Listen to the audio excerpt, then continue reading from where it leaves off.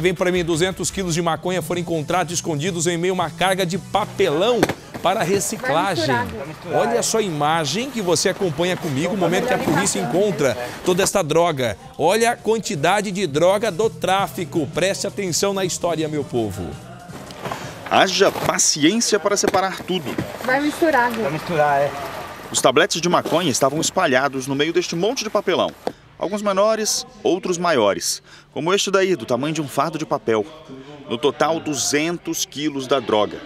A apreensão aconteceu depois que os policiais receberam a informação de que um motorista, já investigado por tráfico, estaria com o caminhão em um posto de combustíveis na rodovia Ayanguera, em Campinas, no interior de São Paulo.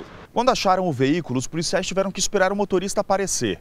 Davidson de Castro Lima voltou cerca de uma hora depois e disse que estava transportando 12 toneladas de papelão para São Paulo. Garantiu ainda que não sabia nada sobre drogas misturadas junto à carga. Ao realizar as buscas na carroceria do caminhão, os policiais encontraram os tabletes de maconha. O motorista foi preso em flagrante. Agora a polícia vai investigar de quem é a droga.